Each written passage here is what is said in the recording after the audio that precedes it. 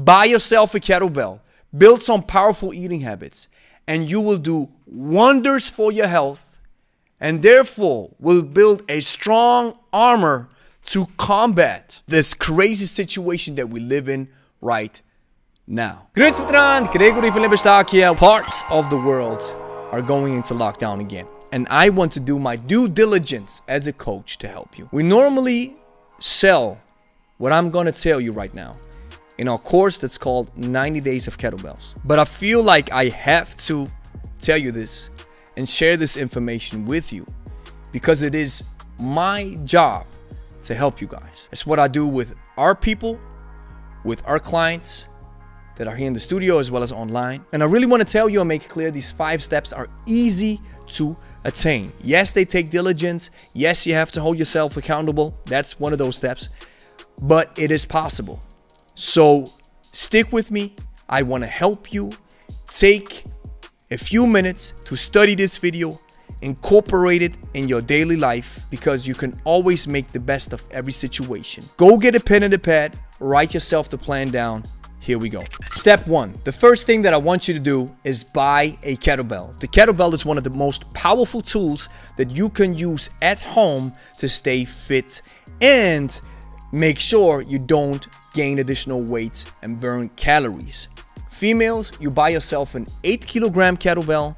Males, guys, you buy yourself a 12 kilogram kettlebell. Make sure it is a competition kettlebell. Kettlebell Kings is a great supplier. Wolverson is a great supplier. If you have the means to invest a little more, make sure you buy a hollow core kettlebell. Step two, follow a regime and do at least two to three workouts per week. The kettlebell is such a powerful tool that you don't need to spend one and a half hours with it. Sometimes even 10 minutes is enough. Make sure you aim for 15 to 20 to maybe even 30 minutes so you can get the hang of it. If you're looking for workouts, our YouTube channel is filled with kettlebell workouts that will suit your needs. Step number three, incorporate walking. On your off days, if everything's locked down and you can't go anywhere except outside, then make sure you get those steps in. Because if you want to burn calories, walking is one of the biggest calorie incinerator ever. At the lower end, you want to maybe aim for 6,000 steps per day. At the higher end, maybe aim for the double, 12,000 steps per day. You can maybe buy yourself an Apple Watch or maybe even your phone. If you have a phone, a smartphone, it also tracks your steps. You can just put your phone in the pocket, walk around, and see what averages you are working with. And then you make sure you aim for the 6,000 at the lower end or 12,000 for the higher end. Step number four, you want to work on your nutrition. And what we believe is building strong nutrition habits is the most powerful way to stay in shape, to avoid weight gain, and to stay fit. The first habit that I want you to build is eat one portion of veggies per day. That can be any type of veggies. Whatever you like, whatever suits you, whatever floats your boat, that's the veggies you're gonna incorporate in your daily eating habits. At least one big portion. And you can build it in any meal that you want to. Eating habit number two, eat slower and more focused. There is a specific mechanism built into your mouth and in your nose that tells your brain that there's enough energy and enough food coming in. So if you eat slower, then your brain will get these signals even earlier. If you eat too fast and you're not focused and you're always distracted, then your body doesn't even realize that there was food coming in. And so that means a few hours later, you will be hungry again. Eating habit number three, decrease portion sizes. If you eat smaller meals, then you will eat less energy. You have to realize if everything's locked down, then we will move less. So we have to accommodate. If we move less, we need less energy. So if we eat smaller meals, eat slower, and incorporate veggies, then we have a powerful plan to make sure that during lockdown, we will not gain weight because we have our calories in control. As a bonus step, you can always start tracking your calories.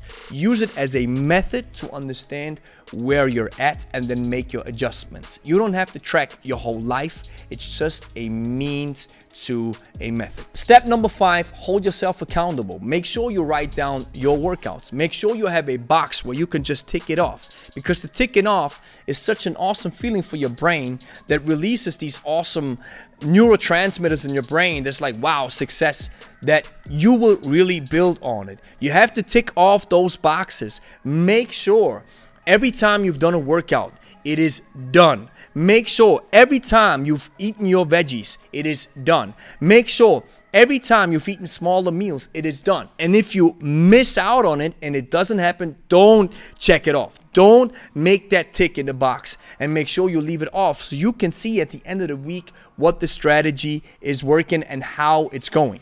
At the end of the day, the idea of all these steps is the following. You want to move more and eat less. This is the big principle that will help you to stay fit and not experience weight gain when lockdowns are happening again. Now guys, what we are experiencing right now is we have a lot of signups for 90 days of kettlebells. And I don't want to push you into this course if you're financially struggling a little bit and you have to make sure that the finances are safe if everything's locking down again and maybe you don't know what happens to your job. But if you're really looking for a program that can help you, check out 90 days of kettlebells. You'll find a link in the description because in that course, we're actually doing what I'm telling you right now.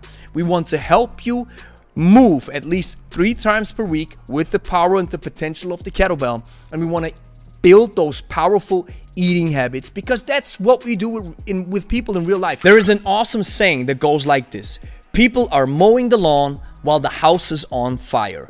Yes, we can talk about all kinds of different methods how you can achieve this calorie deficit. We can talk about barbells, dumbbells, running, calisthenics, all types of methods that are the best, if there even is such a thing, to help you. This is just pure nonsense in most cases. What most people need is the KISS principle. Keep it simple, stupid. From the experience, we work with people in our studio as well as online. From experience, let me tell you, people are messing up out of two reasons. They either don't show up or they don't keep going. The reason why most people don't keep going is because it's too complicated for them. And if you're really struggling with your self-confidence and your self-worth and your self-compassion, then check out the book from Dr. Kristin Neff. It's called Self-Compassion. Maybe buy this book because it's not about you against the world or you against yourself. You want to start loving yourself. You want to give yourself a hug. You want to tell yourself that you can do it. You want to really empower yourself to make it through these tough times because if you're always tough on yourself, then it's hard to succeed and it's hard to stay focused. And most of the time, if we're always critical with ourselves, we go down this downward spiral, which now may be even accelerated in this time and age that we're living in, living in during these crazy lockdowns and things are happening right now. So I really want to help you. This is so important. Don't make it too complicated. Don't make it in a way that you won't understand where you're going. It has to be really applicable. It has to be easy. And you'll always hear people tell you this and that and this and that, especially when you talk about nutrition. That's like a religious topic. When you talk about training, it's a religious topic. Avoid all that nonsense. Use something that is easy for you, that's maybe even already working, and then try to apply it. That's my advice to you. I really want to help you. I know times are tough right now, and I'm in a very good situation with the business. We have been able to build a strong position. I know that I'm blessed in so many ways, and I have learned that if you're blessed, you have to pay it forward. You have to be a blessing to other people. So I wanted to end this video right there, but fortunately, I stumbled over this study. And this study proves the scientific backbone of the idea to move more and eat less. Because if you move more, for example, with a kettlebell and you do some walking, then you do something for your health. You build muscles and all these wonderful and beautiful benefits that come with it. And if you eat less, you will decrease the risk to gain weight and decrease the risk to experience obesity and you will do wonders again for your health. So let's look at this study real quick. They have analyzed 5 million, wrap your head around this number, 5 million adults who were hospitalized from March 2020 to March 2021. Out of those 5 million, 540,666 were patients with C19.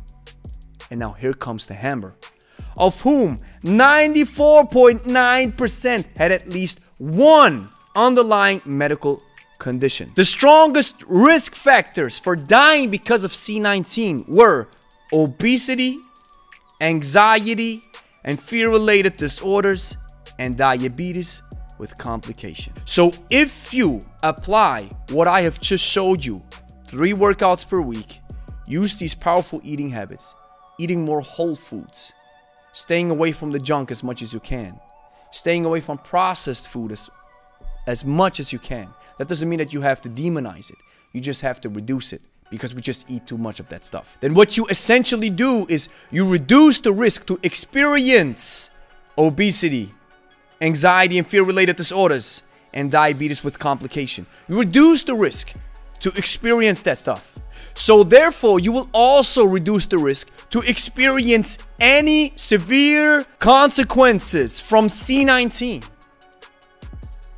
So that's an additional fact that I want to give you when you're experiencing lockdown again. This is a powerful message that I want to give you, and I hope it reaches far and wide. Buy yourself a kettlebell, build some powerful eating habits, and you will do wonders for your health, and therefore will build a strong armor to combat this crazy situation that we live in right now. Thank you for watching. If you enjoyed the video, like it. Consider subscribing if you want to see more kettlebell content. And if you're looking for a kettlebell program that builds you up from a beginner to a slowly advanced trainee in the course of about three months, and you maybe want to combine it with some easy to follow nutrition coaching because maybe you want to lose weight or you want to get in shape, then check out 90 Days of Kettlebells. You'll find the link in the description. 14 day free trial included.